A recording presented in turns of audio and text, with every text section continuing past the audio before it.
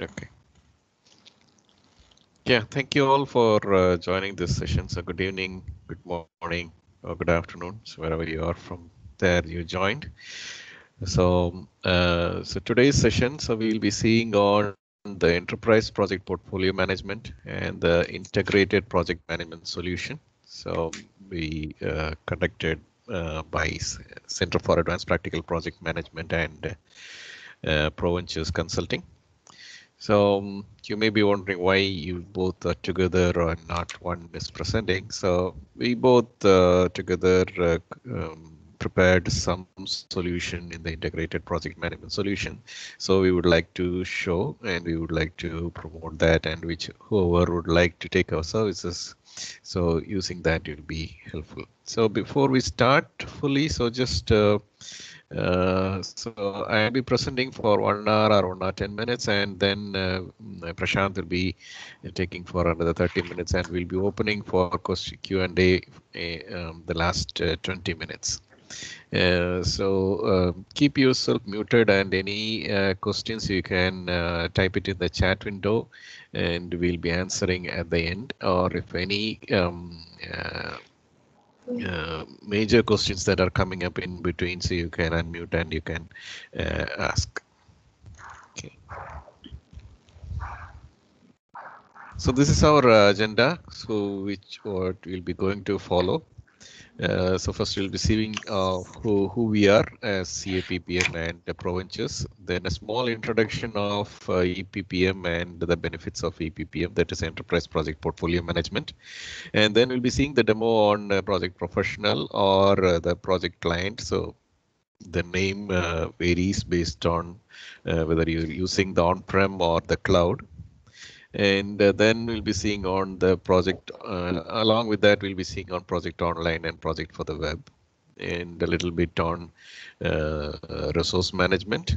Then uh, we'll be starting with the IPMS, the integrated project management solutions with the various different templates that we have built and other customizations and uh, project pages uh, the views. So what are the different uh, options that are available? So that we'll be seeing, and then we'll be seeing on the Power BI reporting, the implementation and migration approach with the um, full product package, what you have.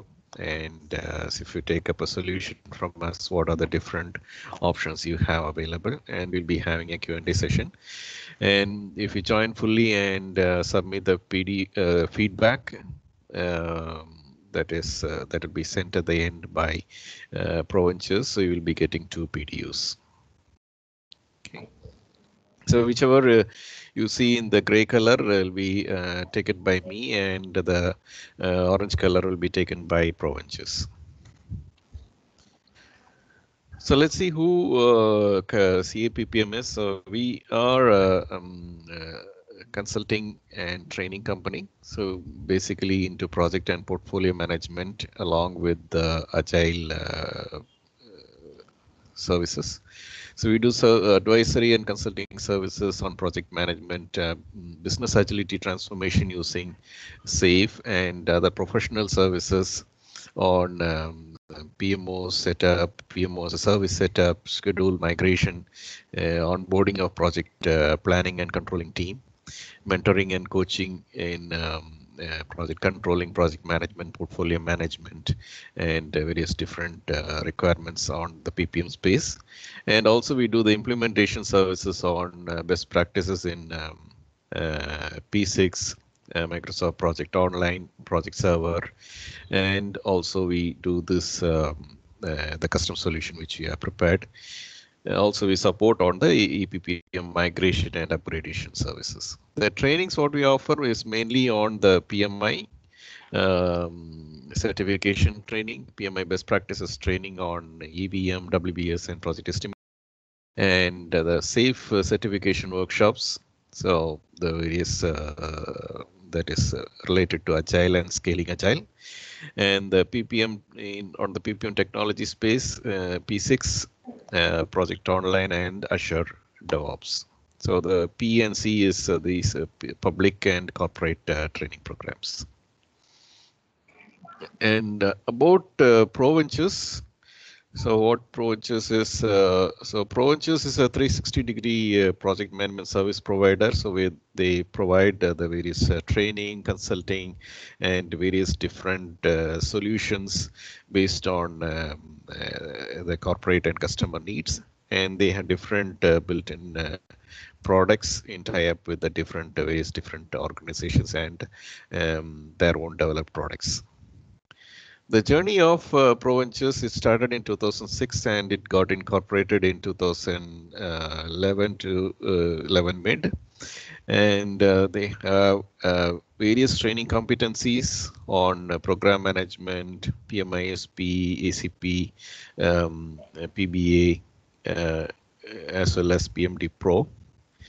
And the key accounts which they completed in the Novartis, ITC, Bumur, so those organizations. And the various partnerships uh, have is the Microsoft Gold Partner. So they are the gold partner for Microsoft and also um, the PMI authorized uh, training partner. Um, so the so as you know from uh, January, only the training partners can do the PMP training programs. And also the uh, the partnership is with the ProChain, uh, that is mainly used for critical chain project management, TPG, so that is for uh, various other integration of the PPM products and the risk management from Intaver and the project management for NGOs from PM4 NGOs. So these are, are about uh, CAPPM and uh, ProVentures. Okay, so we'll go into the topic. So it's on enterprise project portfolio management. So a little bit of the basics, just um, a major highlight of EPPM, and then we'll go directly into the demo. I'm not going to spend much time on the PPTs.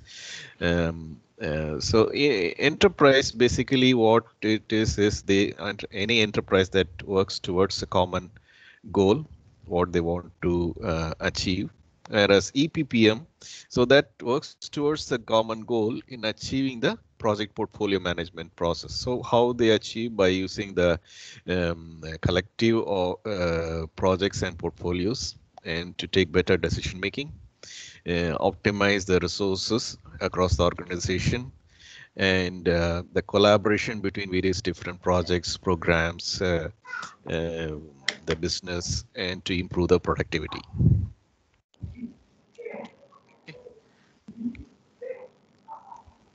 I think someone is uh, unmuted. So if you would like, if you can mute yourself, I would appreciate. Thank you. And the major uh, PPM solution benefits are uh, so it gives you the standardize and the automate the governance process. So you can standardize the governance process and automate it. So at each stage or each phase, each phase, what are the different uh, set of requirements that need to be achieved? So that will be easily achieved with you and then uh, you can manage the resources so in a centralized resource pool you can have the resource pool in a centralized resource system and you'll be able to manage it better. So when and each time uh, when a particular resource is needed. And the collaboration of the projects, programs, portfolios, everything can be easily attained. Uh, can measure and track the portfolio performance. And the better part is you can quickly realize the return of investment on each and every uh, projects and programs. So the main points to ponder before uh, while using the EPPM system or while going ahead with the PPM EPPM system is uh, you need to keep the process before technology. So we, uh, once the technology is there, it will not run on its own because everything requires a process and the people to run it. Um, so it's changed the way you work. So it doesn't mean that EPPM, uh, you do the implementation and the software implementation is uh, complete or the uh, installation of software is done, then everything is successful. No, so because the people has to um, find out what the change is and they have to do a, go ahead with the change. And if the organization is not ready and they are not willing, then don't go ahead with the EPPM system because it's majorly uh, impacts the system and it uh, gives the uh, change and the change in the behavior of uh, each and every individual. and consider the gap. So where you are now, so where you want to go and what are the uh, different timelines that need to achieve. And um, so uh, what are the achievements that you need to uh, uh finish before uh, achieving the final goal. And if you see EPPM is not a driver and it is an enabler. So it's basically the process that it is uh, driving and it enables you to uh, do a better uh, project and project portfolio management and it gives a, a, a realistic and you set a realistic uh, expectation of what you need, uh, what is output that you need from the EPPM system. So EPPM tool, if you see on any EPPM tool, whether it is uh, now we are going to see project uh, Microsoft related project online, but if you see any EPPM tool, uh, whether it is uh, Primavera or uh, Clarity or HPPM, so anything, so it will based on a web-based architecture and it is a network based which is uh, uh, and uh, driven from the database so either oracle or microsoft sql database and you'll be having the role-based uh, preferences and uh, admin and user preferences. Uh, it stores all the projects in a single database and how you need to manage. So if uh, in the whole organization to make it as an enterprise and it is in a central database enables uh, managers to access project data anywhere at and at any time. So as we see, so it is a role-based information flow. So uh, what the executives need, so they will be able to get it. So they, you can um, set up the projects. So the project managers, so they can see only their set of projects they want to see. So if whatever the projects they are involved, and the program managers, the program managers will be able to see their set of projects, and the team members they'll be able to see the set uh, the oh, high level of the project information and which are the tasks that they are going to work and the um, reporting information and the resource managers will be able to manage their set of uh, resources which they want to do and executives will be able to see the high level what information that they need and what are the reporting requirements that they would like to have. Okay, so now we'll go straightly into the demo part. Uh, okay, so this is the project online system. So with this is mainly uh, working on cloud. So the from the cloud uh, system. And uh, this is the interface of the project online. So where we have the project center. So this is the project center where you will you have the full set of uh, uh, list of projects, whatever the list of projects that you have, that list of projects will be available here. So this is the central database.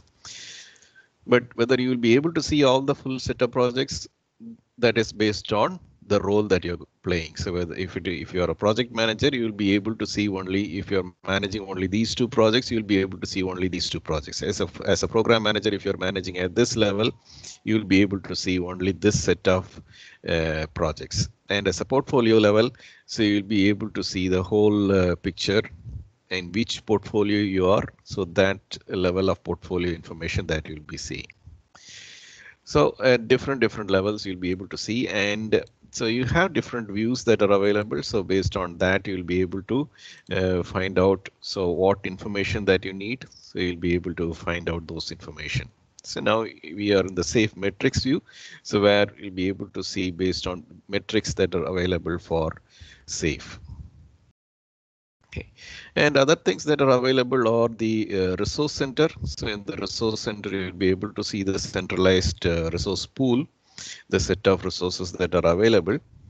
So here also once again, so this uh, based on uh, the hierarchy and the, uh, the requirements, you can set whether the resource manager can see only their set of uh, pro, uh, resources and the team member can see only his and the uh, subordinates if anyone is reporting. And then we have the portfolio analysis. So that is for the portfolio management. So how the prioritization, so how you select the drivers and how we prioritize the different drivers and different projects and uh, how we analyze the project and which project to take, which project not to take. So those informations. And the task center that shows how are going to, uh, so each and every person. So for me, how which are the different tasks that are being assigned and from which date to which date, which are the tasks that I need to work. And at the right side, and a distribution pattern for that particular week, which are the tasks that I need to work. So that information also you will be able to see on. So now in the center, if you see here, there is a small icon that it is showing. So if you open that icon, so that automatically opens this project in the Microsoft Project Planner. So that is the project professional or the project client that this uh, project will open. So if you open the Agile implementation, so the Agile implementation project is will show up here. So if you see here, so the same information, uh, what it is there, so that it will be showing up here. So if I open Agile implementation and I go to the schedule, so the same schedule, we'll be seeing it there. And if you change any data here and publish that information so that the same information you'll be able to view here also. Okay. So in uh, so I hope uh, so in BMS project we are not going to go in deep. So keeping the time as a constraint. So the major level what we are going to see is uh, the scheduling. So this is where you do the scheduling part. So where you have the set of uh, uh, task you build the set of tasks based on the summary or the work packages and the different levels you can create. So whether uh, level one or level two and the various different levels and the overall levels that you can create. And you can specify the uh, relationship by using the predecessor or successor. So if in case if we have used 2010 or 2013, 16, so the latest changes that they have done is uh, so instead of just uh, seeing the so here you'll be seeing which is the relationship that it is being linked. So this is being linked to 69. So after 69, the 71st task has to start. So while giving the relationship itself, you can find out from here the set the names of that particular task. So earlier in 2013 or 16 or if you're using 2010 it will show only the numbers. You not even numbers you have to type the numbers. But here eh, the in the latest version so they have implemented and in the drop down itself you can find out which what type of task with the IDs of that particular task. Okay so you build uh, with the set of uh, task with the WBS and uh, with the summary that the WBS is the summary task that you create and then give the duration for each and every task and give the relationship uh, with the start date that is given. So automatically it will give you the uh, critical path and when you want to start and when you want to finish that particular project. So here you can see so when you can start and when you can finish it.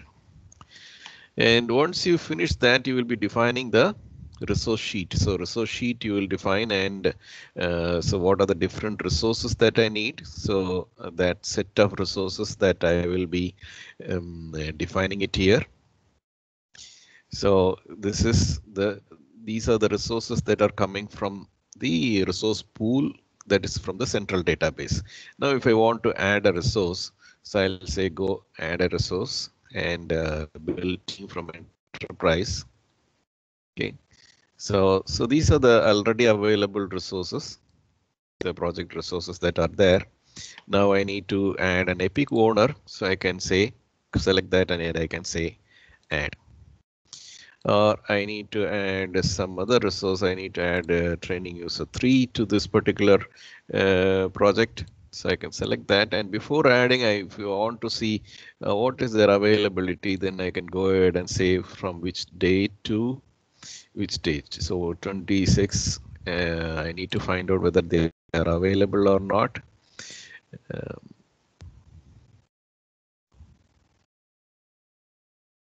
Okay, so yeah, 416 hours it is available. So that particular resource is available. So I'll say select and then say OK. So if you see at the bottom, you can see that particular resource is being added here. Okay, so once the resources are added, but if some resources is not there and you want to add that particular resource, then you can add it like this so that it will take it as a local resource and not as a centralized resource. So you will not be able to manage centrally. So but you using as a particular thing for that particular project alone so their their availability um, their uh, which project which task they are working so those type of information that you will not be able to get it so this uh, uh the resource information either it, whether it is a work resource or a material resource or a cost resource that you can specify and define so since uh, uh this is a local resource, you will be able to select whether it's a work or a material or a cost. But for the um, enterprise resources. So that is being set at the enterprise global resource pool level. So once that is being uh, defined, then you can assign that resources to each and every task. Okay. So for uh, this particular task, what are the resources that are needed? This particular task, what are the resources that are needed? So each and every um, task, you assign the resources. Then you can go ahead and do the analysis. So resource analysis you will be able to do. So either by uh, resource graph, so how the resources are working. Okay, so business analyst how they are working, portfolio analysis how they are uh, assigned. So those information. So for each and every resource how they are working. So that information you'll be able to uh, find it here. And the other way to do the analysis also by using the resource usage or by using the task usage. So where in a tabular form, you will be able to find out how the resources are being distributed for each and every task and for a particular week or a date. So that information that you'll be able to find out. Okay. And uh, so the other th so once uh, everything is being set up and that is uh, done so you'll be able to find out so what is my total um, project cost. So I go to the cost table and find what is my project cost, total cost that is there, and what is my baseline cost. And if I have given the tracking and updated the project so you can find out. So this is how I have planned. That is my baseline cost. And uh, to till now I have spent this much. And so based on that particular status date that which I have set. So this is the variance that I'm getting and from the total cost uh, this much variance will be there. So the total cost is this much, baseline is this much. So the, uh, the difference, everything that you'll be able to find out with the variance and how much remaining is there to complete it. So that is the cost information. And if you need to see the schedule information fully, so whether it is a, a, a early start, late start, uh, the total float and free slack. So all these informations that you'll be able to find out. And then um, the variance details for the particular task, whether it is a um, baseline finish or baseline start, what is the start variance, finish variance. So all these informations that you'll be able to get it. Okay.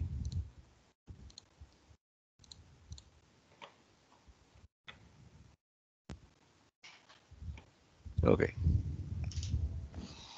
Now, so uh, so if you do all these things, so now I need to find out. I need I have updated the uh, project and uh, uh, so all this information. Now I need to find out whether the project is running as per my track or not. So I need to find out. So go to Gantt and find out the tracking Gantt. So you'll be able to find out how these particular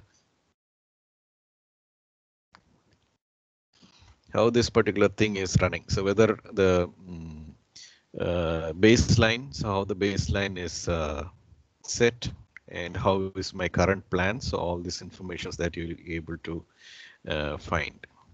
Okay, so this is how I have planned. That is the baseline information, and this is how the current uh, plan is being set out that you can see. Okay. So if you do that, all these informations, then go ahead with the uh, report. So there are various built-in reports that are available, so which you'll be able to uh, find out and track the system. So the in the dashboards, so you have the burn down. So how the burn down information is being set. The, so the work uh, burned down and the task burned down. So that is being uh, you'll be able to find out. And then you can find out the cost overview so earlier, if you're using 2010 or 2013, so the graphical reports are may not be able to find out. So, but here uh, they have built in the graphical reports and uh, on a user-friendly way and in a presentable uh, manner. And the other reports is the resource overview report if you want to see so how the resource overview report, so the resource status, work status, all these informations, and how the each and every resource when it is being uh, when they are starting, when they are finishing, and what is the overall work that they are using, and the cash flow information if you want to see the cash flow. Okay, so here uh, I'm seeing it on a quarter basis. So if I want to change it on a uh, weekly basis, then I can see, or if I want to change it on a month, so how it is distributed on a month-wise, so they'll see the month-wise distribution. Okay, so that is, and also I can uh, export the data in visual reports and I can see how the earned value uh, something is being there and how the graphical information is at that you can see it.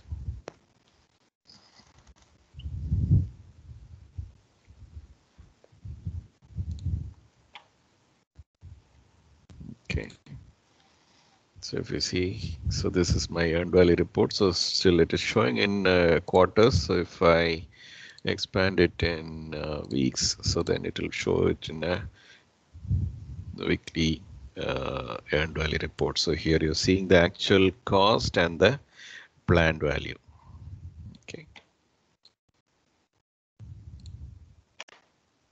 Okay, so these are the various different reports that you can take. And then, uh, so before we move ahead with the next one, so we'll go with the, um, so in the resource sheet, so we saw uh, how I added the resource from the uh, centralized resource pool so I'll be showing. So uh, in this particular case, you'll be able to match a particular uh, resource. So you set the um, resource as a generic resource, but later stage you want to modify as a named resource. So you want to see who are the business analysts that are there. So I want to select that business analyst uh, so who is there available and I need to find out. So I need to um, replace this business analyst. So I need to find out who are the business analysts that are there in the overall organization. So I can select that and say match. So it will show which are the different resources that are matching for business analyst. And you can find out whether they are available.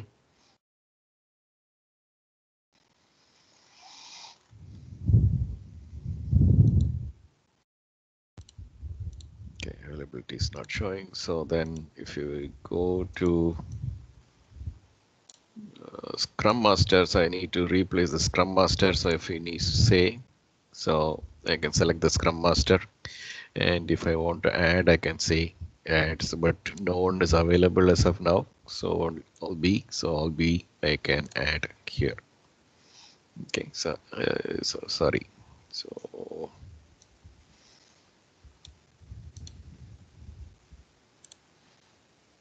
so as a scrum master they matched. So then, so I select Olby and the Scrum Master and then I can replace.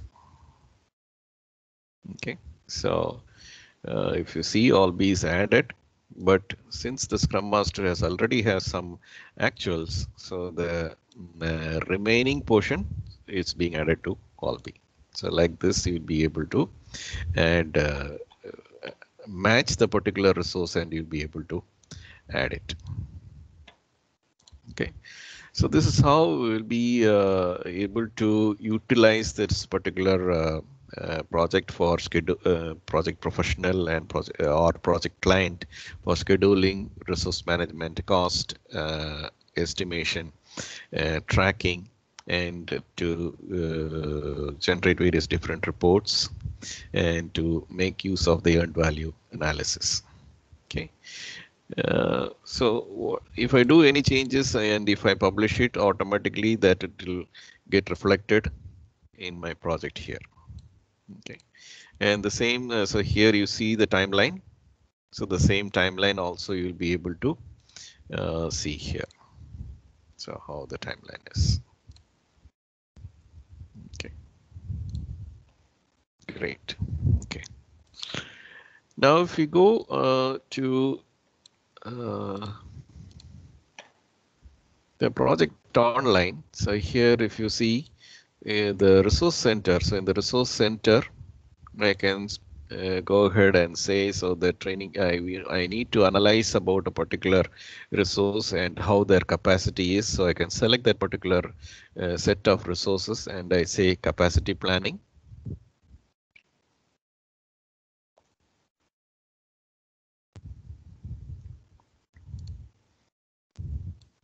and you can see the resource utilization. So you can see the resource utilization graph. So this is not for one single project. It will show for all the projects. So wherever you're working. So if you see uh, my name, so it is showing my capacity is 40 hours uh, per week and I'm available for 24 hours for each week. But I'm working on projects hybrid uh, uh, transformation projects and loan management project on this uh, week and for this week this week. And if you see the week of September I'm working on all these four uh, projects and my requirement availability has gone below.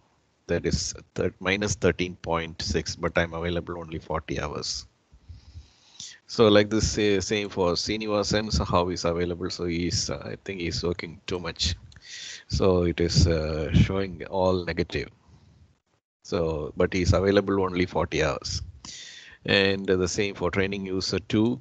So those information. So this is uh, not on a project by project basis. So it is on a cumulative basis for all the projects together. It will show for each and every project how you're distributed for the work and how much you're available and how much the capacity is there. Okay and on a graphical way also you'll be able to see. So and you can see whether the time scale distribution on a weekly monthly quarterly so those uh, informations that you can see. And this is on a resource utilization and resource utilization by project if you want to see. So on based on a project. So uh, agile hybrid transformation how these uh, resources are working. So that information you'll be able to uh, find out. Okay now, uh, someone has any question? Okay. Okay. And uh, you also can see the, yes, please.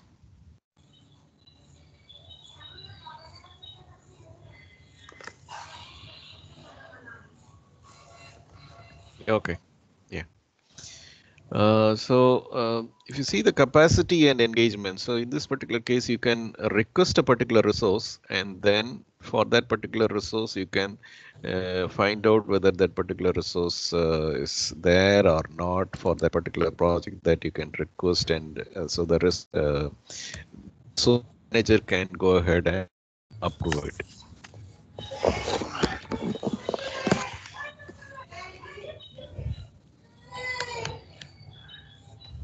Okay, so if you see the resource uh, request, so here you can see, so this engagement, so that is called as resource engagement. So that, um, uh, so for any project, you can request a particular resource and uh, submit that particular request.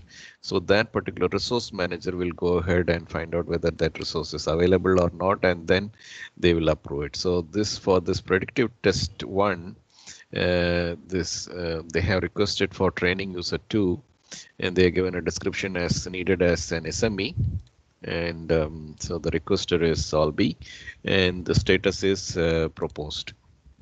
So once the project manager goes ahead and says approved, then it will say committed. So these are all committed because it is uh, already been assigned and approved by the resource manager so that those resources can be used in that particular uh, project. So that is the uh, training user two. So if the resource manager selects and say uh, accept, so and he can say uh, any particular comments that you can give or just say approved. And once it's approved, then it becomes changes to committed.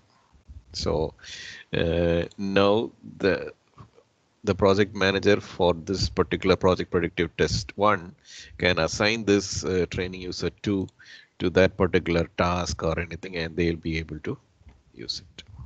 Okay.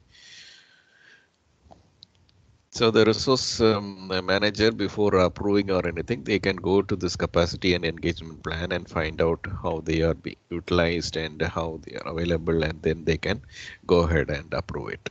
Okay, so this is on the resource management. So then, um, uh, so we saw the project management part, resource management part, um, and then go with the uh, portfolio management. So in portfolio management, so you um, develop the different drivers. So based on organization, so you have different uh, drivers that will be available.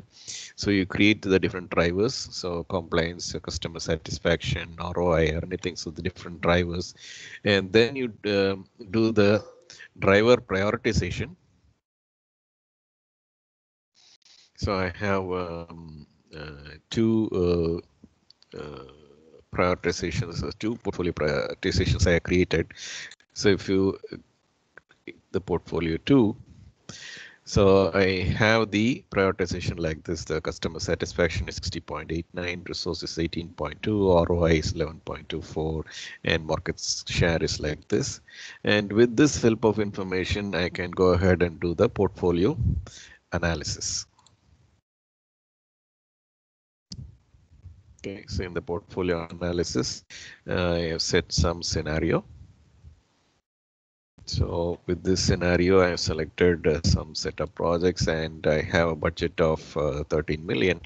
So uh, this is how my uh, efficient frontier is coming. So in this particular case, instead of um, 13, so I have only 10 million as the budget. So in this particular case how it is going to uh, function. So I make the proposed budget as uh, 10 million and uh, say recalculate. Then it shows that uh, I'll be able to do only these three projects, whereas uh, this one project has moved out. So based on my prioritization for the projects uh, and how I set up the priority for each and every drivers, so you'll be able to find out based on budget or anything. So which project to take, which project not to take. Okay. So that is uh, what I have for the overall high level of the enterprise project management system. So now um, let's um, see a little bit on the integrated project management solution. So I'll be showing a little bit what we have done. And um, so further to that, uh, ProVentures um, uh, Prashanth uh, will be showing the uh, further details. So integrated project management uh, solution. Um, so it's basically so it brings together all the parts into a whole. So it's it gives us a whole product. So if you go to buy a, a car, so if you see the basic model, medium model, and high-end model. So like that, it can be called as a high-end model where the whole product is available. So uh, instead of taking only the out of the box features, so we have uh, customized the certain requirements and based on that you'll be able to find out the different uh, set of requirements and it uh, brings uh, various collaboration tools together and you'll be getting a complete solution and it saves a lot of time and money instead of going from one um, uh, tool and then getting the information here or something. So it syncs all the information and more transparency between each and every system that you'll be able to get.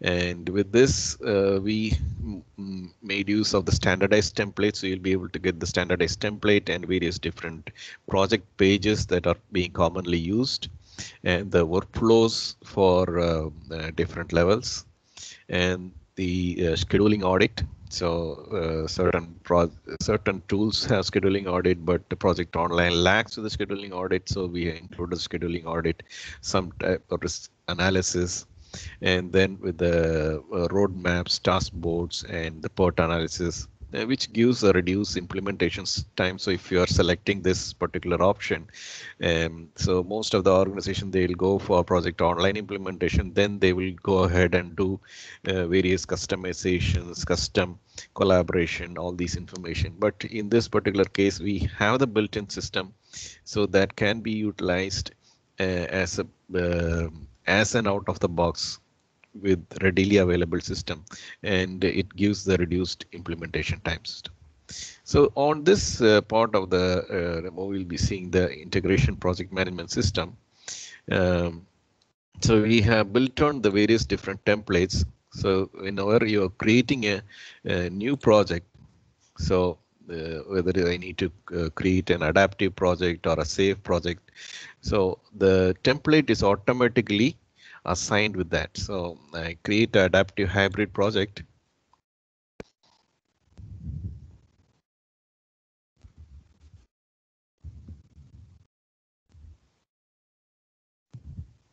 And I give a name.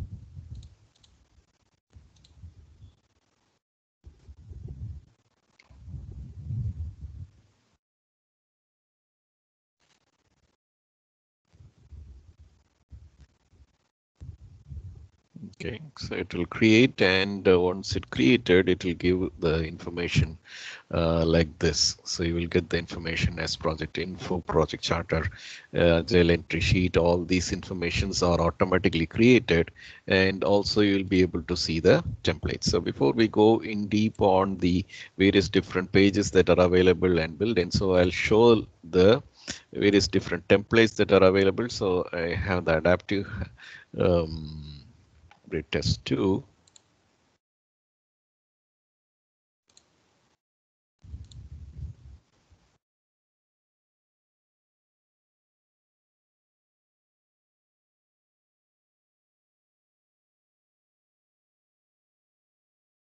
Okay, so this is the template we have. So we have the uh, adaptive hybrid test 2. So the high level schedule, adaptive template and the hybrid template. So if you, someone wants to use very high level information that is the sprint at the very sprint level only they want to manage, they can use this particular template and then they can remove these two. But if you are using a full-fledged adaptive agile template, agile project, then you can make use of this particular template where uh, we have set it based on uh, stages. So stage one and stage two. And from stage three, the full uh, sprint review, sprint uh, release plan, uh, the use uh, testing. So all these on an integrated fashion that it will, we, we have included it here. Um, if you go on a hybrid setup, so then in the hybrid setup, then the so initially it will be something like a predictive so initial as well as the uh, closing. In between, it will be running a um, agile model. Okay, so those, uh, so if you see, the initiation is there, project framework is there, project wrap up, and then the uh, selection of the project. Then here starts in the stage two, between only the agile planning is getting started as the stage uh, three, the planning and designing, the uh, product planning, refining the product uh, backlog, and then the agile everything is available. Okay. And the important part I missed out during the initial demo is so this uh, one view I didn't show that is the uh, task board. Okay, so you have another feature so you can manage the agile projects here itself. So you can create a Kanban board sort of thing. So not started next to each other, tasks that are coming in progress, tasks, tasks done or not completed. So those things that you'll be able to do if you can easily move from one stage to the next one. Okay, so next one is this is select this you'll be able to move so that task board and you can create the task sheet also. And the sprints. So what are the how many different sprints that you are going to run? So that information that you'll be able to give. So this uh, I missed it in the initial uh, project demo, so that I included. So that is the the uh, the template for adaptive hybrid test two. Then for SAFe, uh, we have the um, uh, for the SAFe template. So the SAFe template is looking like this. So I'll open this and show.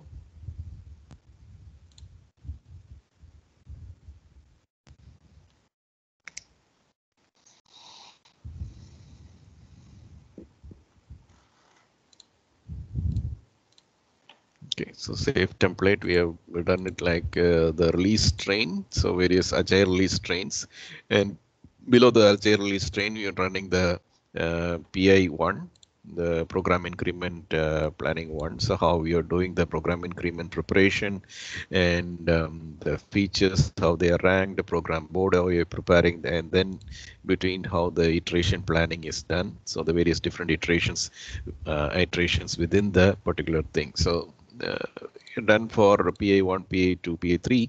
So based on uh, the uh, so if you want to little bit customize here and there, you can do it. And the same thing can be copied and utilized as a P, um, PA3, PA4 or something. Okay, and uh, the next template what we have is uh, for the predictive. So predictive so predictive is nothing but the waterfall.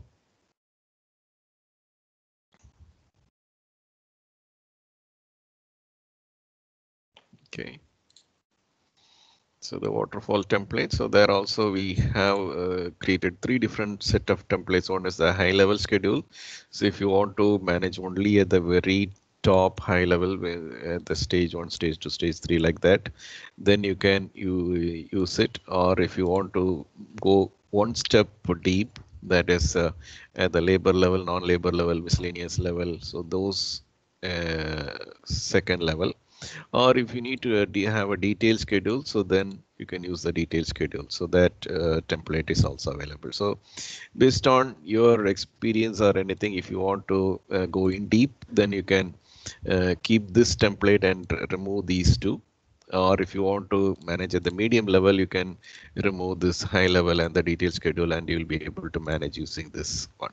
And then if you publish from there you'll be able to maintain it in a better way.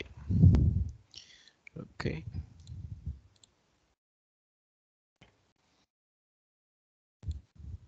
Okay. Now so uh, that's how the template is being used.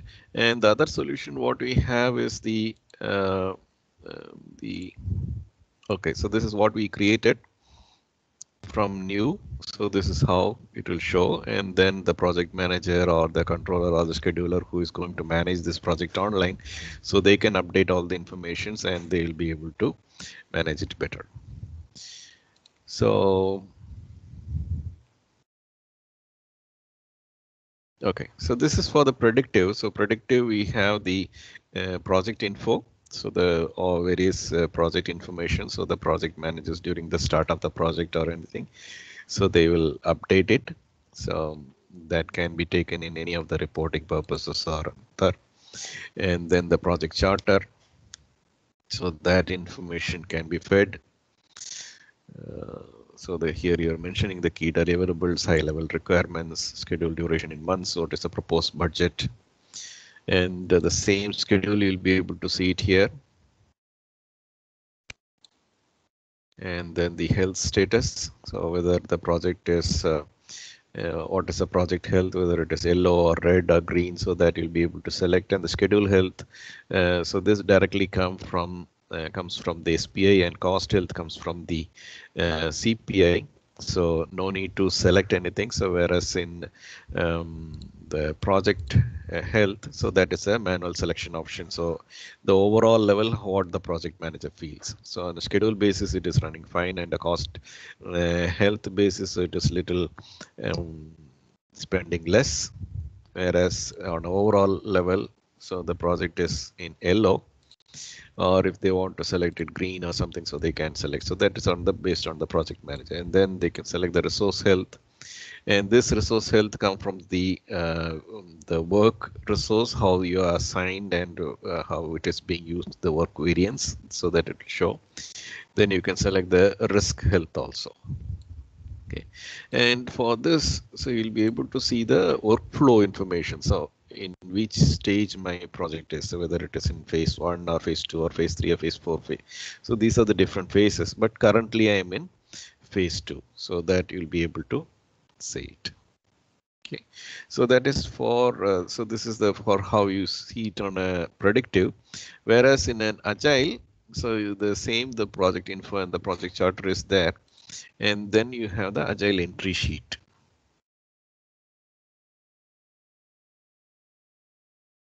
Okay, so you have the agile entry sheet. So where who is the coach? So the some different informations are there. Number of sprints, what is the sprint length, who's the product owner. So those informations that you will be able to enter. And uh, here we have the financial information. So I'll show the financial details. Okay, so if you see the finance, uh, so at the high level, you'll be able to uh, capture what is my original planned cost for 2020, what is approved planned cost for 2020, and what is the variance between these two. So for different years, what is my approved? Then you can find what is the cost. So this uh, comes directly from the project plan. So from the project plan, uh, what you have so what you have built in using the resource build, uh, integrated project plan um, planning using resource and cost. So from that it pulls the data and it will show it. And you can add the benefits information also. So uh, if you see on the finance, so the original budget started from 2020, but the benefit for that particular project you'll be able to starting to get only from 2021. So what is the benefit of the project that you're going to get? So that you'll be able to add it and we included a plugin so the, here the major integration point that is coming uh, so either um, you can use uh, the fluent books or umt so this is at the high level how the cost uh, is distributed so the forecast and the actual cost from June to July, July, August. So all this information at the very high level. So resource, uh, labor cost, non-labor cost, license cost, hardware, uh, so for capital and operating, so that breakdown you can show. So this is at the high level and not at the task level. So the task level, we are capturing it uh, here and the overall project information on a financial basis that you're capturing it here. And uh, so the uh, very high level information, uh, if you want to, that is the top down information that you need to uh, give so that you'll be able to give it using this uh, table. Okay. So this is for the agile, how the project different project pages are available. And uh, if you see for uh, SAFe. So SAFe the project info project charter everything is there. And if you see the um, workflow so the SAFe workflow is something different. So the pa1 pa2 pa3 pa4 and then the closure is there. Whereas if you uh, saw in predictive you had phase one phase two phase three phase four and then the closure. So here you have the different workflow. So based on uh, while creating the project, how you are um, selecting which type of uh, project. So based on that, the workflow template, everything will be automatically uh, taken into consideration. So here the project info project charter is there and the SAFe entry sheet is the only thing different. And the PA1, PA2 information that is being shown. Now we are in the PA2, so it is showing PA2. So if you are in PA1, so that particular page will show here. Okay, so here you have the SAFe basic input you're taking and the various input and dates that you're taking for the agile team names, uh, start date of PA1, start date of PA2, PA3, who is the solution manager, who is the solution architect, who is the release train engineer, solution train engineer, epic owner, all these informations that you will be able to feed in here. And if you go to this uh, details of the PA2, so where you can find out the basic info of when you started this PA1, PA sorry PA2, and when you finish when you are going to finish the PA2, and the number of sprints that you're planning for this uh, PI, including all the different uh, teams and the various different functionality you're going to achieve. So that is the number of features planned here is two, number of features planned and uh, accepted is one, enablers is how much, stories is how much, all this information and the quality metrics that you will be able to um, derive from this one, from the various inputs that you're given. And uh, other uh, metrics also you'll be able to capture that is the total business value uh, releases for PA2 all these informations. Okay? So that is uh, about the various different pages. So if you're taking the solution, so the template as well as the different pages for the different uh, uh, type of projects, so everything will come as is. And so minor modifications if you want to do during the migration or anything, so that will be added up. Okay. So now if you see, so we have the also we have built in different uh, views. So if you see here, so the, now we are in the SAFe metrics uh, view. Uh, if you want to see the financials and the finance benefits, and so the financial details need to be collected by the portfolio uh, sub portfolio managers or the program managers. So they'll be able to get for the project. So each and every project, the project ID when it is starting finishing, what is approved plan, what is original uh, original plan, what is the variance, uh, what are the benefits. So all these informations they'll be able to get it. So actual cost, EAC, uh, BAC, all this information. And so we have the overall metrics indicator. So for each project, how it is performing. So the start and finish, what is the benefits achieved, what is the CPI, and the customer satisfaction index, number of enablers, number of features, what is the SPI, what is the TCPI, so all these informations all uh, built in, so no need to customize. So directly you'll be able to get the information. And other major indicators what we created is um, so using the um, uh, traffic light indicators, you will be able to. Uh, so the portfolio managers they will be able to get the details directly uh, here. So if you move the cursor near, so you, uh, instead of going for, so in this particular case, if you don't want to, uh, executive want to see the direct information here and he is uh, well versed with it, you can hide this particular uh, column. So uh, if you moves it here, what, okay, what is it, this green? So whether it is correctly one or something, so it's 0.98. So it is showing is green. So that information that you will be able to get on the schedule health and here. So since there is no information so it is showing in bulb. And ACWP, BCWP so all the major metrics that is being added. So these are the various uh, different views that you have created.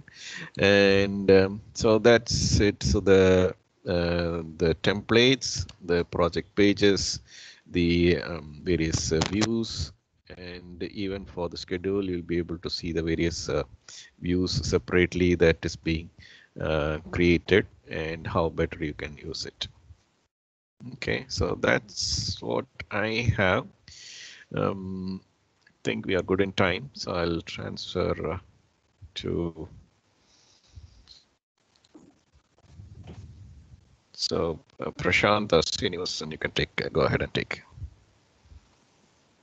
All right. Uh, thank you, uh, Alvisa. Uh, good evening, all. So we had a, a detailed walkthrough of uh, all the features that uh, we have built in the Promise solution. So in addition to these, what uh, has shown, uh, I would like to quickly show you a couple of uh, additional plugins and features that Promise contains, along with few of the uh, business intelligence uh, reports. So I would like to share my screen. And yeah, so let me open uh, Project Professional to, in order to show you the first uh, uh, plugin. Now, you can see uh, on my screen there is a project that is a project schedule that we have prepared in uh, the project professional. So we have built a schedule audit, a schedule audit in the sense based on the DCMA's best practices. Uh, what are the good practices that a project schedule should have when it comes to uh, building a proper schedule. So we have uh, coupled all those best practices into a add-on to Microsoft project. So which we named it as PERT Plus, which you can see is given as a tab in the ribbon in the project professional. Now, this tab has multiple options uh, where the first one is the schedule audit, which runs a diagnostics on the project schedule and gives the status of the project schedule and what are the missing elements and it will find out based on the best practices from the existing schedule. And also it will give us the rating in terms of score out of 100. How, how much does this project scored in terms of the best practices that we need to follow? So any plan that we have built, any schedule that we have built, the moment we open it, you can see there is uh, a schedule audit button over here. Then click on it and it will open a dialog box which gives us the information on the the score and the other elements that uh, we have checked out. Now, if you go to the last tab, that is score. Uh, you can see there are different elements against which the score for the project is calculated. So you can see when you go and expand each of the tabs, uh, these are all the, the metrics against which we have measured the current existing schedule. And it will, it will calculate based on for each of the elements we have uh, rating against which the total score is computed and given as 66. Now, uh, for example, if you see there is uh,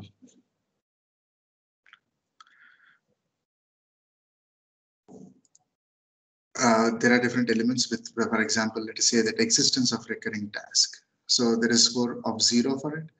Now what I'll do is I'll, I'll go and quickly uh, insert a recurring task in this. I'll go and insert a recurring task. I'll call it as review meeting and I'll give the duration as one hour. And on every Friday for one hour, it happens and, and after, let's say 10 occurrences. So when I go and create a recurring task, uh, you can see there is a, a new recurring task that is created inside project management. And each task is scheduled for every Friday for one hour that is created. Now, once I have done this change, uh, if I go and click on schedule audit again, um, then I'll go back to the score and you see earlier it was 66. Now it increased by five more points. So 71 is the score. So where we are lacking, where what are the things that we need to do? For example, tasks with missing baseline info. So what are all the tasks that are having not having the baseline information? When I go and click on the task dependencies, it gives us the IDs of the task. You can see a number of tasks with missing baseline information, two, four, five, etc. So all the IDs of the tasks uh, are given here. So when we go and check this and when we have this information available with us, we can go back and then I'll go and set, set it right. I'll go and set the baseline for it and come back and check the audit again. Now we can see that score keeps improving, which includes the best practices. Now 71 has become 81. So and when we keep moving forward, we, this is how we will have to check the different elements of uh, the scheduling best practices and keep rectifying them and keep improving the score to build a proper uh, schedule with all the good practices incorporated into it. Okay, so the next part I would like to go into is the risk analyzer, which is built on the very uh, common, well-known technique called PERT. So, which is again a three-point estimate. So first I'll do, what I'll do is I'll go and do a three-point estimate and create the necessary fields that are required for doing this analysis. So now you can see the optimistic, most likely pessimistic, and mean and the critical path uh, values are getting populated.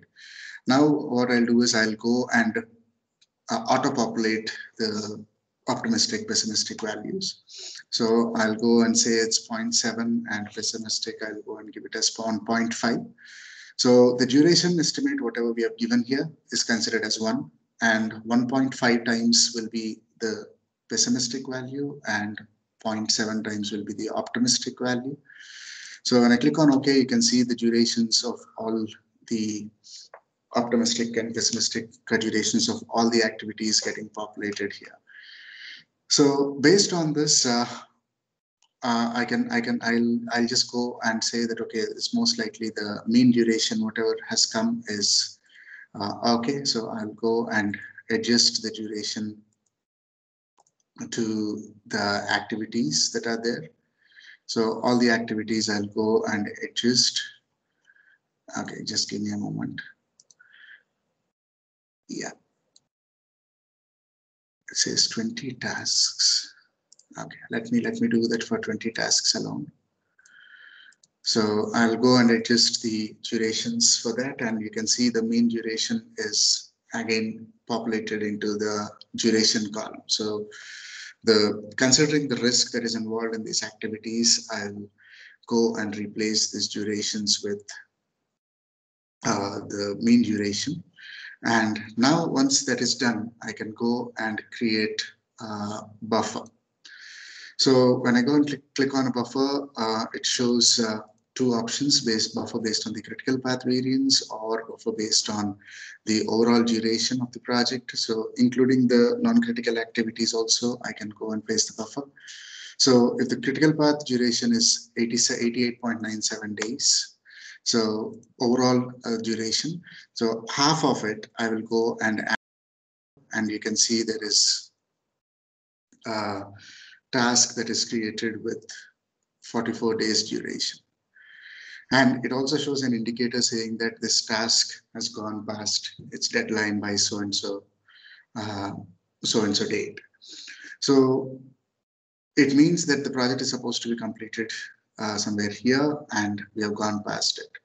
So when any of these tasks uh, gets delayed, for example, instead of uh, development activity took 10 days and instead of uh, five days, then I'll go and uh, go and correct my buffer so that it will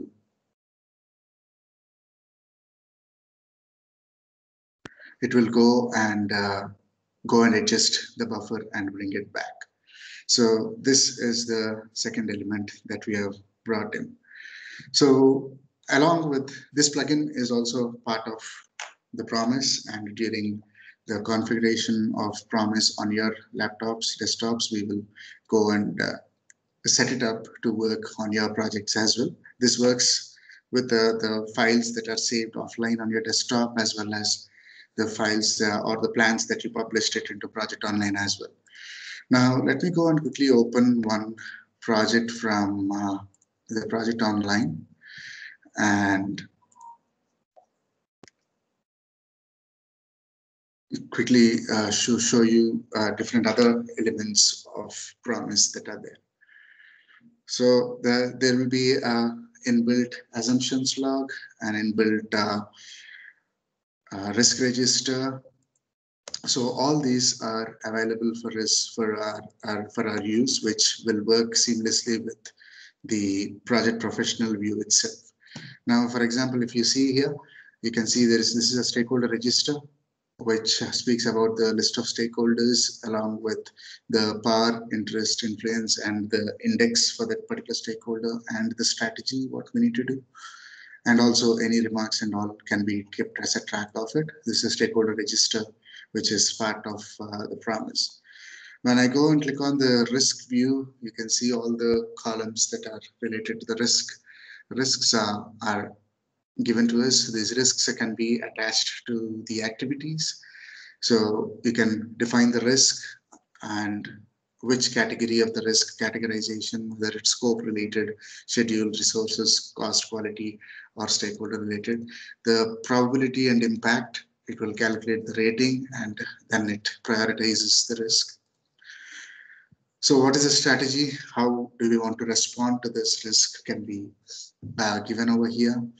And you can also uh, define the action that we need to do it and we can assign responsibility to that particular risk or for that particular response to be implemented. Who's the person who's going to implement this response? Okay, so set a deadline or due date for that risk, which before that deadline or due date that uh, responsible person should be implementing the response. So similarly, we also have one more module called assumptions log uh, and also uh, RACI. So I'll, I'll just go and uh, show you the assumptions log here. So you can see here this uh, all the assumptions that we have documented in a particular project can be given here in form of a description. And then we will go and define the responsibility for the assumption, what type of category is it assumption or constraint, and what is the source of this assumption from where we make this uh, assumption, what are the consequences of it, and uh, what is the chance that if this assumption goes wrong, what will be, uh, what is the probability of this assumption going wrong, and if it goes wrong, what will be the impact. So in order to handle that, what actions do we need to take? So these are all the different uh, other elements that are part and parcel of uh, the promise solution that we have spoken about. So along with this, one more interesting thing, uh, because we have spent a lot of time on the agile part, is what I would like to show you is the uh, integration of promise with Azure boards, which is uh, um, Microsoft uh, Microsoft solution for managing agile projects. So this Azure boards contains uh, multiple modules, like we have Azure boards, pipelines, we have uh, uh testing, Azure testing. So all these things can be automated. Automated testing can be possible in Azure repos to uh, post a code, something works like a GitHub. So all these things are part and parcel of it. Now, when you build a proper project schedule, we can go and integrate this with the Azure boards and the activities here will be published into Azure boards in the form of features, epics, or uh, or uh, or uh, in fact for the task level as well. So let us quickly see one particular example for this. So I will uh, let us go and uh, as you see on the screen, you can see there is one project which is uh, Clarity PPM. So we'll go and build a team for this project with the existing resources. So I'll go and uh, build a team from the enterprise. And uh, we have added Anil and also we'll add uh, Stephen to the team. And I'll click on OK. And now let us go to the team uh, ribbon, which is uh, add-on for the Microsoft Project Professional in order to integrate with Azure boards. So only when you install these plugins, these things will be available to you in the ribbon. Otherwise, the ribbon will be free. Now, when you we have already connected and integrated this with the ProVentures Azure boards tenant. So you can see all the projects that are available in proventuresindia.com tenant. So will be visible there. So this project should be linked to which team project in Azure boards is the thing that we are doing it now. So we'll pick up PERT Plus as the project for the, the current project to publish the current project stats. So let's click on connect. And the moment we click on connect, uh, you can see there'll be a couple of more views that will be created. So you can see there is uh, two views called Team Foundation Gantt and Team Foundation Task Sheet. So let's go into the task sheet. And this is a place where we do the assignments and categorize the activities in terms of uh, whether it is an epic, it's a feature, it's a story, or it's a task. So these customizations can be done on the uh, Azure boards front. So the same things will be picked up for us for to use it here.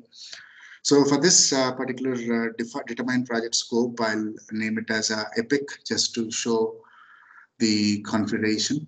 So work item type, we'll have to create it. So uh, yeah, next one we can choose uh, as a feature. And now you can go and see the resource names that are there. So which iteration uh, does it belong to? And also the resource name will have the uh, particular team members whom we have just added. So I'll add Stephen Chirra to it. And uh, one more and as Anil Kumar. And now we can add that to a particular sprint, which iteration does it belong to. So let's go and pick it up as iteration one. And yeah, so once we set these parameters ready, so we are ready to publish this tasks into Azure boards and track it there during our daily Scrum uh, meetings, daily stand-up meetings. So we click on publish and then uh, you can see there is uh, one particular uh, items that are uh, defined and then they will be published into the system. Now the system is already these things are published into it. So let's go into the Azure Boards interface and then uh, refresh the page to see uh, the tasks. So determine project scope, whatever the epic that we have created. So the symbol, you can see there is the epic symbol here. You can see when you point your cursor on it, it shows as an epic. And determine project scope is the activity and it is assigned to Stephen Chirra. So once we do this integration, we can go to the boards, define these boards for each sprint, and you can drag and drop these activities into uh, multiple items uh, into the different stages as it progresses. The same thing uh, can be maintained as a part of backlogs and uh, in product backlog as well as sprint backlogs. So this is how the promise system will integrate with Azure DevOps or in Azure Boards module of Azure DevOps and uh, communicate to and fro about the status of the tasks in terms of Azure, I mean, uh, Agile and SAFe related terminologies and management theories. So Promise also has uh, integrated uh, data pack, which we will also see now. Let's go to the PWA, the project center, and uh, let's see the business uh, intelligence reports, the dashboards.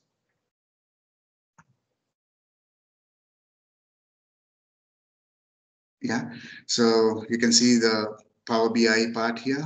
Now let us go and open one pack of reports that are available for promise solution. Uh, you can see here there are uh, different uh, pages that are available in this particular report pack. So this report pack is configured as a standard pack for promise. When we go and configure promise, this pack will be linked to the particular project online tenant. So the data from the, the projects will be picked up in the real time and these dashboards will be updated uh, periodically and it will always show the real real-time data.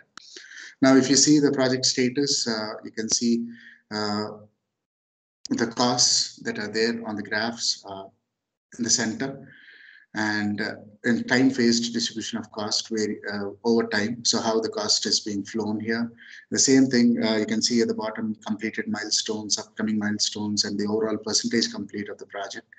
And for that particular project, uh, so schedule variance, the project finish variance is gone by six days, work variance, cost variance, all these things are uh, calculated from, by, from the data that is picked up from the project online system. So we can change this report and make this report uh, available or visible for, or for any project. So from the top right, you can see there is something called as project name. So from that drop down, we can go and select the list of which project we would like to uh, like to see, and we'll just go and select uh, Clarity PPM, and then you can see uh, the project status for that particular project, Clarity PPM, whatever we are speaking about. So similarly, we have uh, S-curve so costing information is not available in this particular project. We can, uh, once it is done, uh, we'll be able to see that. Now let us go and choose a different project which has some amount of costs that are available and automatically the costs will, S-curve will be developed over a period of time. So milestone wise payment. So what are the different milestones? If we configure it, the payments will be tracked and how much amount will be given also can be given using these graphs. So all these uh, reports are interactive and we can play around with these, apply filters, we can change the projects uh, for which project we would like to see and all these things are available there. So similarly, we have a few reports from uh, the resources. We have a resource, uh, the utilization of resources can be tracked. So how many hours the resource is available, how many hours we, we have allocated into the projects and how many hours, excuse me, he's available to work for further during uh, the particular month or particular week. So you can see the heat map available in terms of month-wise, how many hours the resources are available to work. So if you see Stephen Chitra, he's still uh, available for 72 hours because he's already working on uh, different projects during the month. So we can drill down and do the resource analysis when we are doing the assignments for the projects. So I'll skip the other uh, reports and go to the project risks and issues, which uh, you can see on the last page of the report pack. Now, uh, this is a consolidated uh, the risks that are picked up from all the projects that are available in the uh, in, in our particular tenant. So it, it reflects uh, the amount of risks based on the categories, whether it's a technical risk or what kind of risk it is. And you can see there is a kind of a bubble chart that is given in the middle based on the probability and impact. Uh, what is the percentage? What is the score of the risk given pictorially in the form of a uh, bubble chart. So similarly, you can see the issues as well and a list of issues and risks at the bottom in the form of a table. So who is the owner? What is the priority? What is the due date? What is the status of the issues and as well as the risks? So both can be monitored overall at enterprise level or for a specific project if we can apply a filter and we can go and apply a filter and also check that. Okay, so these are all part and parcel of uh, the promise solution that we have built. So along with whatever Olby sir has given to us in terms of the governance through workflows, uh, in terms of the indicators in the project center, the resource management, resource allocation, utilization, and uh, phase-wise approvals using the, the workflows building a proper schedule and an add-on to it where we speak about uh, bringing the best practices of schedule and an automation around that to go and analyze and audit our schedule and give us the score and uh, integrate it with Azure DevOps to manage your uh, automated testing, your code repositories, and also the agile stand-up uh, interfaces. So that integrations are possible. And finally, but not least, we added this report content pack from Power BI also as into the Promise suite. So that is it from me. I'll hand it over to Srinivasan sir. So, sir, over to you. Thank you, Prashanth. Uh, thank you all. I think. Uh, sir, uh, just a minute. Yes. Uh, I I forgot about the project for the web. Let me cover. Give me two minutes. I'll cover that and I'll hand over to you. Yeah, yeah.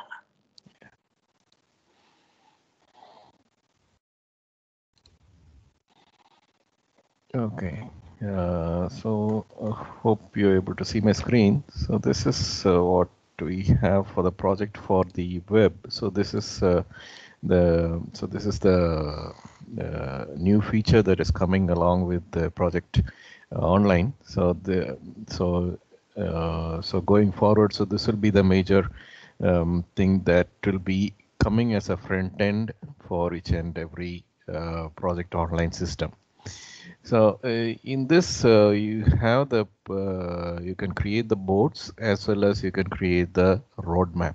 So at the high level, so here I can see the various different favorite features. So I create the portfolio roadmap uh, program board, solution roadmap, PA roadmap, and also I can see the Wagers um, uh, projects that I have recently opened, or I can share it as a favorite. So if I can add something as a favorite, and you can create a new roadmap or you can create a new blank project. So blank project will come like a board. So uh, the Kanban board, the agile uh, medium set of projects that you can manage it here or you can create the roadmap. So if I have the uh, portfolio roadmap, so I have created a portfolio roadmap. So at the high level, so the uh, portfolio managers would like to uh, see the main set of roadmap projects, so how it is running um, and uh, the period that it is running. So they will be able to see the various different set of projects. So I have included here the adaptive agile implementation. So that is one roadmap project for me. Value stream is another one and value stream two and three. So those are the different uh, roadmaps that I have. And also I can create the solution roadmap. So solution roadmap. So the this takes the information from the uh, value stream. So if you see the portfolio roadmap and uh, solution roadmap, so both are taking the information from the uh, value stream only.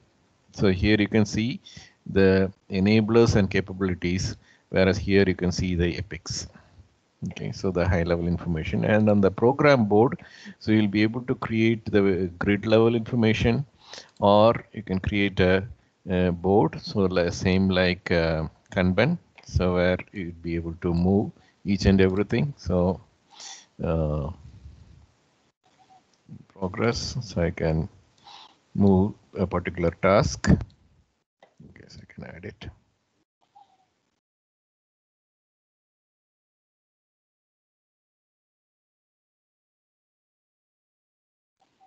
Okay, so like this, I can uh, uh, make it in a board. And here also I can have the high level uh, timeline information where I can give the high level uh, linking and I can see the particular uh, timeline.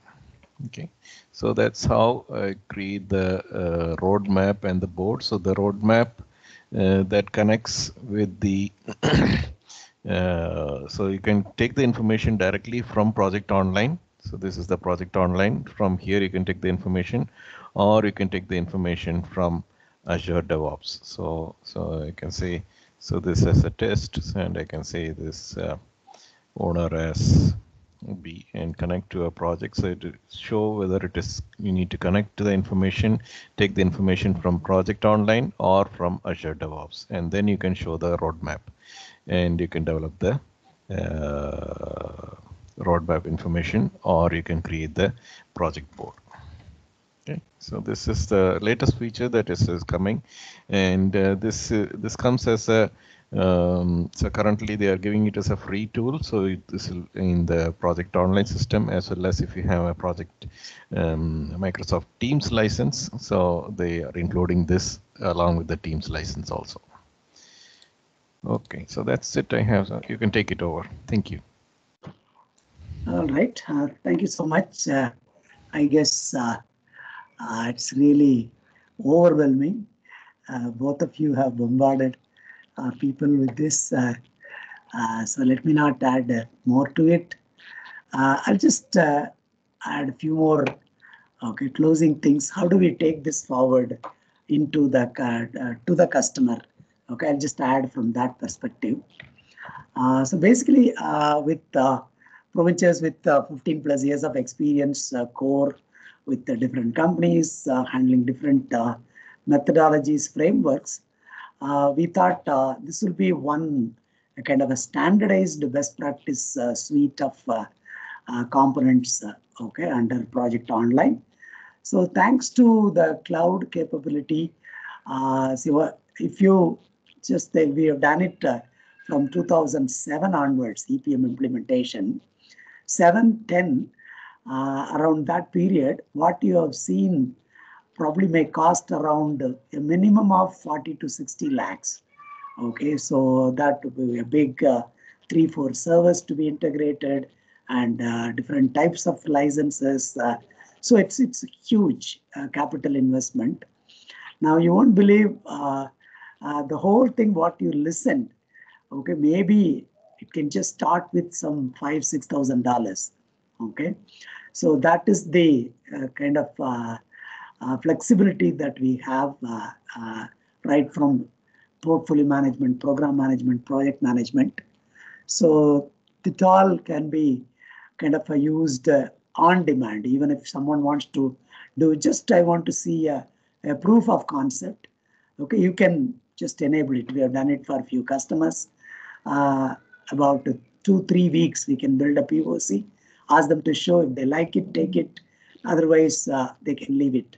So that is how it is. You have seen uh, uh, anytime, anywhere from a uh, online perspective, resource center, project center, report center, okay, and uh, licensing as required. Okay, in addition to that, uh, uh, yeah, this is a set of components. You have seen most of it. You have seen the client, you have seen the project center, resource center, agile Kanban, dashboards and reports, document center, it is there built in, and then diagnostic kit for schedule audit, and the other things like uh, customized components in line with uh, you can check with uh, PMI's body of knowledge or any other methodology uh, in alignment with that risk register, assumptions log, RASI matrix, stakeholder register, plus uh, in uh, DCMA as well as uh, PMI SP guidelines, you see this uh, PERT analysis and other contingency calculator, etc. are incorporated. Uh, so you can have uh, multiple life cycles built in one. So you see that under a strategic layer of uh, portfolio management, you have a Microsoft Planner, project for the web, project professional, and then ADO boards and other stuff. Okay, so you can use it for a predictive life cycle and iterative life cycle. Uh, different benefits, I think uh, you all know it. I don't need to mention. Uh, see, it comes with a, a pre-built uh, bundle of uh, best practices. Okay, you can cut short uh, the requirements or design or blueprinting. Okay, basically you can just take it as a yeah, fast track starter pack. Okay, with I would say almost 80% of what you have seen can be built in as little as uh, three to four weeks of time and you can go live. Okay, so that is what uh, uh, we try to give it to the customer. And then having seen uh, the major challenges, uh, which Olby said in the beginning, adoption. Okay, so that's what often we tell to the client, uh, okay, look, put people first, process maybe next, and then technology will serve that. Okay, so as they cope up, you can seamlessly expand, okay, measuring the value out of the investment. Uh, so migration, so if so many companies know, uh, uh, basically use uh, project standard, which is I think uh, I would say 20 years uh, old, an absolute way. Every project manager having his own projects within his own box, desktop, not even able to communicate each other. Uh, so uh, now it's very easy to move into 2019 solution, and then we have a phased uh, migration approach with uh, there are third-party solutions available depending upon the number of projects that are available as a uh, standalone uh, standard-based project or professional-based projects. Uh, so those can be either manually we can migrate it or automatically we can migrate it with other plugin solutions. Uh, so don't let me not go into details and then uh, give you. So implementation, uh, it's very difficult to pin it down.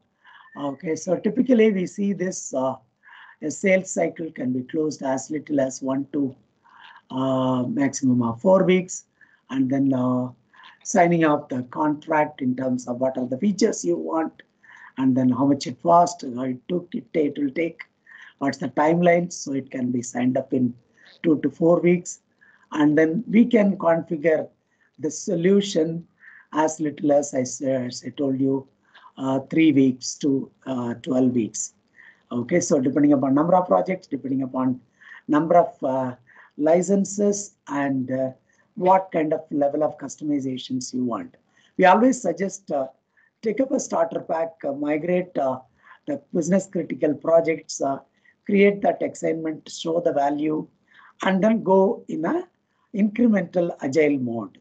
Okay, we can go for every uh, monthly release the, from that time with the limited features added to it, number of projects added to it, number of uh, users trained, and then go on. So we can do all that kind of support.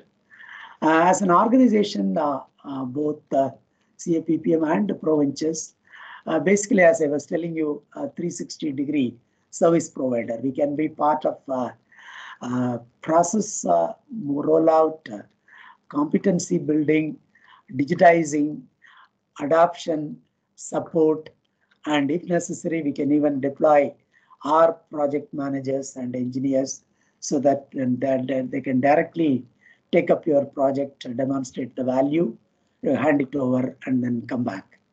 Okay, so this is how uh, we have built it. Uh, in fact, uh, uh, this initiative of building a, a bundled uh, solution, okay, we started it about um, an year back, I would say, and then sat with uh, kind of thought leaders uh, and discussed with them uh, what would be the, the best thing for the market, and then spent quality effort. And the things like what you have seen as PERT Plus. Okay, if you look at it, uh, companies like uh, Boeing, okay, operate uh, with that kind of quality of schedule. We had an opportunity to serve Tata Advanced System, so where uh, we actually uh, did this work uh, in terms of training and other things. So what you are getting, okay, is uh, that kind of rich and uh, mm, complex features built in as a uh, pre-built solution. So with these things, we have 20 minutes before us. I just want to open it for discussion. Anything is okay. Uh, you can ask questions. You can give your genuine feedback, uh, whether it is positive or negative, where the industry is, whether they can take it up this much, how much they can take it up, anything. Okay, we can discuss. It's just a, a open forum and uh, I'm not sure uh, many of your background. So whatever background you are, okay, you may be a practicing professional or a decision maker or uh, uh, implementer, anything is okay. So we would like to hear from you uh, over the next uh, 10, 15 minutes. Okay. Uh, so let me open it for discussion. Uh, whoever is asking questions, uh, you can just uh, give a, a 30 second introduction about you, uh, whom you are, from which company, and then uh, what is your feedback or discussion. Any questions and other things.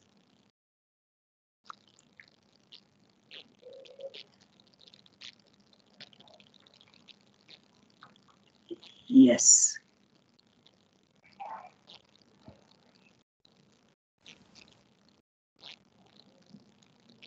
You are so silent all through the implement uh, demo, but uh, now it's time for you to speak. Yeah, if you don't want to speak, just you can type it in the chat. So any Yeah, yeah. questions or feedback. Correct. Yeah. In fact, uh, we we really don't do much of sales pitch. Okay, we just build solution and just showcase it.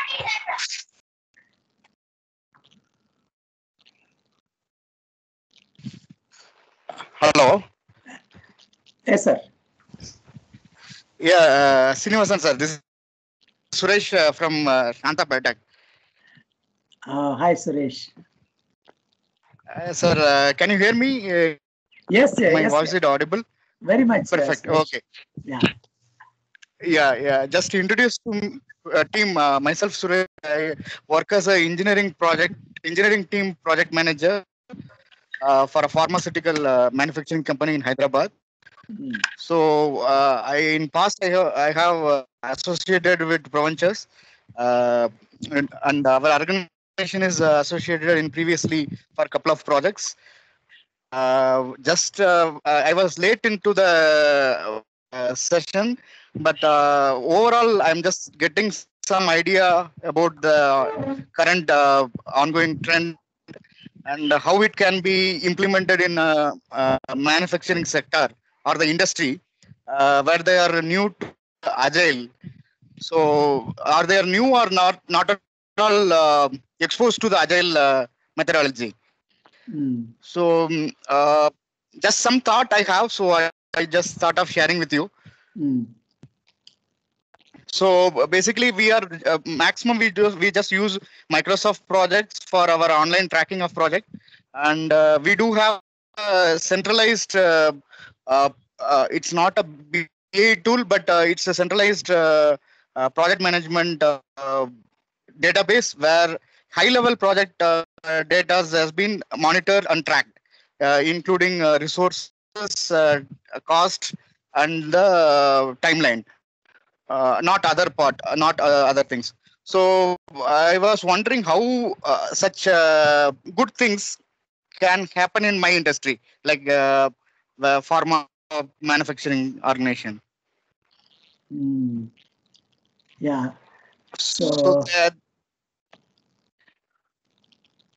Yes, I'm I'm just thinking like we are we are good to handle the project with uh, scope, uh, scope, time, cost, and resources, and other things are all all on only paper. Resources, uh, sorry, risk or uh, uh, uh, risk and uh, stakeholder management also are just in the paper, not in the real online uh, tracking. Mm. And just general question: How my my industry will come this part of industrial standard? How long it will take?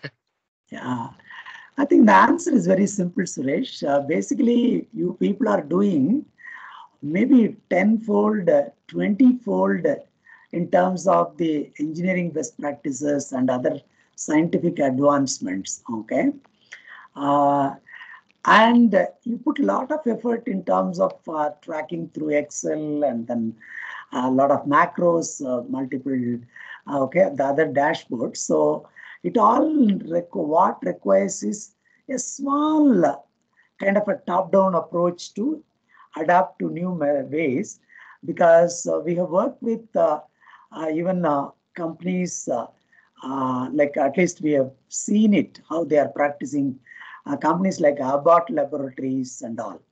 Okay, so even during this time of COVID, okay, they have uh, applied some of the modern uh, things and uh, they came out with the market within a very, very record time, uh, coming up with the new testing devices and uh, other uh, areas.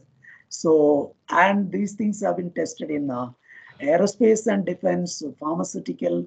They are all actually some of the companies uh, who are in the, uh, I would say, the front runners in adopting these practices. Okay. So all that requires a, a, a small element of uh, top-down thinking from the senior management. Okay, because uh, employee level adoption will be very easy because uh, what you are doing is much more complex. So what is available is very simple actually. So that True, was true. actually my. Uh, it is changing. Okay, right now we work with uh, Novartis, we work with uh, Reddy's Lab. So everybody is open even for uh, agile. Okay, the, they are very sensitive now how we can bring in because agile what is there in the market is highly IT centric, uh, but uh, agile by principle by philosophy is very very uh, I would say adaptive and fluid. Okay, we need to just put some thought process and then uh, tailor the organization centric or uh, sector centric uh, agile methodology. Okay. Mm. Uh, right. Yeah, to So- add on that, so so the agile in uh, manufacturing segments, if you see the scaled agile and how the scaling is happening in the agile, so it is uh, nothing but it's uh, uh, something that is taken from the lean manufacturing uh, setup only. Mm. So, uh, so it is easy for the manufacturing industries to adapt uh, on a scaling uh, point of view, because it follows the uh, lean manufacturing as well as the agile. If you see the somewhat, it remains the same. Yeah, I think uh, for me, the cycle gets complete from uh, discrete manufacturing, industrial engineering standards. Project managers uh, adapted in terms of EVM and other principle in between 60s to 90s. Okay, and then uh, now agile is uh, they invented okay or derived it from manufacturing. Now it's time they are giving back to construction companies, infrastructure companies, and manufacturing companies. A cycle started with manufacturing, getting back to manufacturing. Yeah, true. Yeah, but some mind blocks we have to come across. Uh, that's what. Yeah, yeah. Okay, so Vijay, you are from which company? Yes, Suresh, I think Suresh. Oh, Suresh only. Okay, okay. All right. Sir, Sanofi, uh, Shanta Biotech. Yes, sir. yes, Suresh. Yeah, I know the yourself. Sha- Okay. Anybody else? Uh, Hari Kumar, uh, is it ONGC Hari?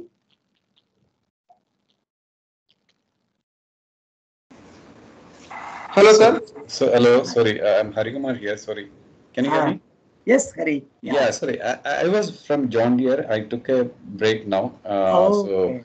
so John Deere India. So, first time I'm interacting with you, sir. Okay, okay. All right, all right.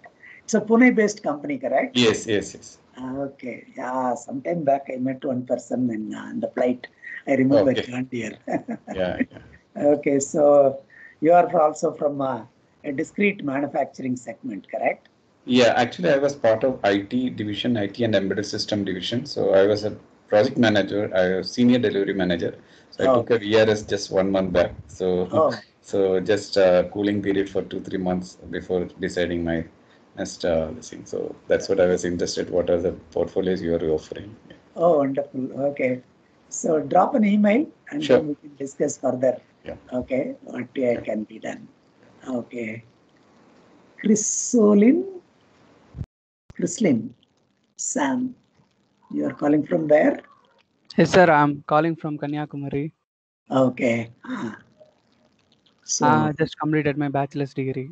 Oh, wonderful. Okay, nice to see youngsters uh, participating in such complex uh, webinars. All the best. Uh, Thank you, sir. I understand everything pretty well, sir. wonderful. Our explanation is uh, very, very. I don't know what to say, but uh, it's very, very good. Okay, in fact, uh, beginner, I can understand everything pretty well. Very nice. Actually, we have a, a, a three months program for freshers where uh, we teach all these things from concept level, okay, including Microsoft project, what you have seen, all Power BI, uh, Oracle Primavera. So maybe you can get in touch with uh, Ratna. She'll give you more information. Okay. Uh, okay, sir. How should I contact the person? Yeah, you submit the feedback form. We will get in touch with you. I will be in touch with you. Hari. Okay. Uh, okay, ma'am. Thank you. Yeah. Thank you, sir. All right. Hello, sir. Uh, anybody else? Hello. Hi, Reggie. Yes. Hello. Ah, yes, sir. Reggie. How are you, sir? We are doing good. Yeah. Ah, Yeah. Very good, sir. Very good. how was the uh, the presentation demo? Yeah, I, I, very good, sir. Uh, just I thinking how the advanced project management is useful. Then, more, sir, how it is uh, differing from the P6 module? I think maybe P, P6 have some advancement like this, but I don't Ah. know. It Yeah. is like uh, it is like uh, uh, if you ask uh, Kolkata people which city you like, they will say Kolkata. Okay, if you go to Mumbai, they will say Mumbai. so it's all same set of features uh, bundled in uh, to different uh, UIs. For certain specific industries, uh, uh, they prefer uh, uh, Primavera, uh, but uh, that was actually based on uh, long before understanding. But now, if you look at it, both the products can handle workload. Uh, I would say if you want to see a difference, uh, P6 is kind of loosely coupled, okay, Okay. different modules. Microsoft project is little tightly coupled. Okay. So each has its own advantage and disadvantages. I think um, MS project is user friendly. Then it is, that is hundred percent sure that I because I used two things. Uh, but Okay. we see in infrastructure industry like oil and gas, most of the MNCs or most of the Indian companies are using uh, P6 only. But what Okay. uh, what is the reason behind that? I don't know. Yeah, it is, uh, if you look at it, Mm. uh, 10 years back, uh, Microsoft project uh, was only having uh, task and resource, nothing more than that. The resource also only people resource. Mm. But uh, Primavera P6, even 25 years back, having a very rich uh, uh, in terms of various other material resource, equipment resource, etc. Okay. So today, if you look at it, both the products can handle equally any complex uh, uh, uh, uh, use cases. Okay. All right. Anybody else? Uh, uh, guests from outside who have first time uh, witnessed our demo. Uh, you can basically also uh, speak. Uh, what is your opinion? Even if you think uh, some of the things are uh, uh, can be improved, you can give a feedback. I see Sarat Kumar, Sumit Verma. Uh, Good evening. This is Sumit. yes, Sumit. Yeah, Uh, sir. This is first time I'm interacting this uh, webinar, and uh, Okay. It is very nice. And uh, I'm planning to go for PMI. So Okay. PMP, sorry. Uh, okay. So I'm working in a company as a expediter and a procurement expediter uh, since last three years in Hyderabad, but uh, right now at uh, my hometown. Hmm, okay. So the, it is very nice uh, to interact, and all the things are very nicely prepared to present. Uh, just it is the first time I'm uh, going through the flow of the project activities. Like Okay, okay. It's good because uh, quite often, no, these uh, Mhm. procurement specialists, no, are not uh, uh, well integrated, their activities with the main project stream. But when the project gets delayed, uh, they blame the procurement or supply chain people. Absolutely, sir. so it is good uh, you people uh, uh, Yeah. align so that you can question the project managers. Okay, you can tell them, okay, how this item uh, Hmm. influences the critical path, all those things. Yes. Okay, we are also based at Hyderabad only, so you can be in touch with us and. Uh, Yeah, yeah. I am. Uh, I am. I've contacted Mr. Sandeep, uh, and Okay. But uh, the time was not allowing me allow, allowing me to do that uh, PMP training. So Okay. okay. sometimes good. I will again contact him. Definitely, definitely. Yeah. Okay. Mr. Sharath, I think uh, we are nearing the time. Uh, maybe Ratna, can you share the feedback form? Uh, Sir, Yes, it's sir. already there in the chat, sir. Okay. Yeah. So in the chat window, you'll find a feedback form. Uh, just start filling it and then uh, uh, uh, uh, those who are PMP certified, you'll receive uh, two PDFs. All those who complete the feedback form, we will uh, send out an email link uh, for certificate download. You can do that. And as you fill, uh, whoever wants to uh, convey any remarks, closing remarks, or feedback, uh, you can also speak out. I have yet to hear from Sharath.